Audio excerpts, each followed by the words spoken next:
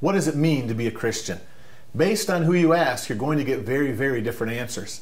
In, in 2021, the Cultural Research Center of Arizona actually did a survey where a full 69% of all Americans thought they were Christian.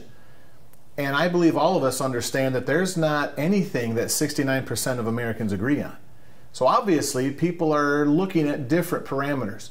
Well, since Christian was first used in the Bible, I think it's important to understand what the Bible says would be true about someone who calls himself a Christian. A Christian is a person basically who believes a couple of key things from scriptures.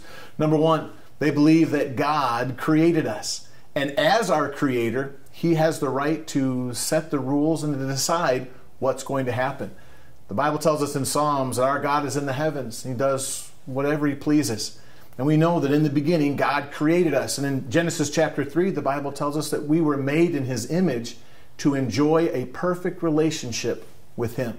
God created us not so that we could do whatever what we wanted, but so that we could worship Him. But God gave us a free will choice to do that. And man decided, instead of worshiping God, we wanted to worship ourselves, and we decided to break God's law. The Bible calls breaking God's law sin.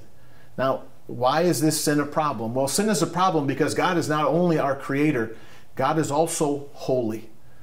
And God is so holy. In fact, Isaiah tells us he's holy. 1 uh, Peter 1 tells us that he's holy. And part of his holiness means that he's not able to be with sin. And because we have broken God's law and have sinned, we have put a barrier between us and God. Not only is he holy, not only is he creator, but also the Bible teaches us that God is just. Isaiah tells us that he loves judgment or justice. And what that means is that God punishes what's right and rewards what's good. But here's where many, many religions get it wrong. They think, well, if God punishes what's right and he rewards what's good, then we need to do as much good as we can so that when we stand before God, he'll allow us to come into heaven. But the problem with that is because we're human beings, we, we can't do good. The Bible tells us that all of our righteousnesses are filthy rags as a human being, what we think is good is nowhere close to what God sees as good.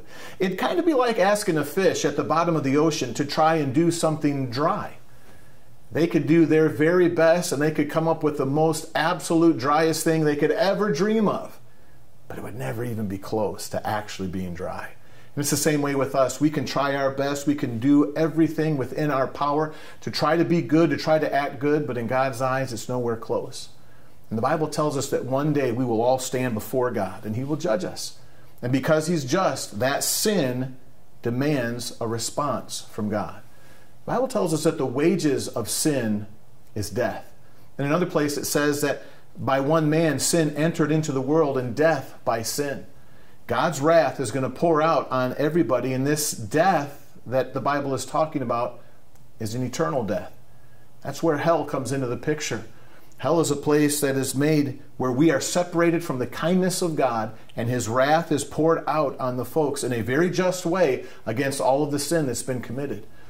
So, because we as human beings have sinned, we have earned this wrath.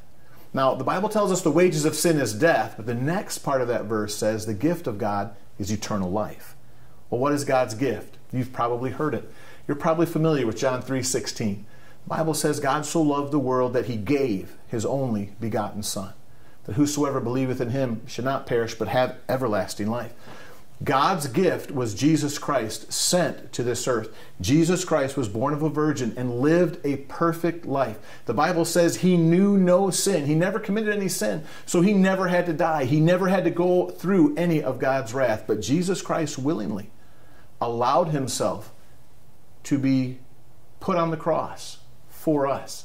Bible says that God commended or showed his love toward us in that while we were yet sinners, Christ died for us. You see, in judgment, kind of think of it this way in judgment, when we all stand naked before God and He is judging us for our sins, if we are there alone, His wrath will be poured down on us. But Jesus Christ said, I will take God's wrath, kind of like an umbrella. If it's raining outside, wherever that umbrella is, it's still raining on the umbrella, but if you get underneath, if you get in the umbrella, you don't get rained on. And the Bible tells us that if we're in Christ, we won't experience God's wrath. We can be in Him. Now, how do we do this? Well, before we find out how we do this, it's important to understand why Jesus Christ can take God's wrath. You see, he lived perfectly. He died on the cross for our sins. And the Bible tells us that three days later, he rose from the dead. That's so very important because that means that the payment was accepted. And when Jesus rose victoriously from the dead, and that's a historically verifiable fact that Jesus came out of the grave, that meant that God accepted his payment. And now we, if we're in Christ, we can be under that umbrella and never experience the wrath of God. Now, how do we do that? Well, some places tell you you have to go to church. Some places tell you you have to do this or do this. Some folks will say you've got to pray this prayer.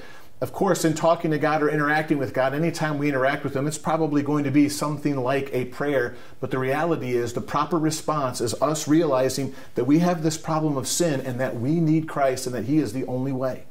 And by placing our faith and trust in Christ, believing that He paid our debt and that He is the only answer to our sin, we can be in Christ. Are you ready to do that?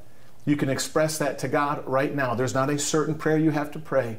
It's simply understanding you're a sinner, understanding Jesus paid for that sin, and understanding that you want to be in Christ. Why don't you tell God right now you want to be in Christ, want to experience God's love through Christ, and never ever have to pay or never ever have to see the wrath of God because you now know that you are a Christian.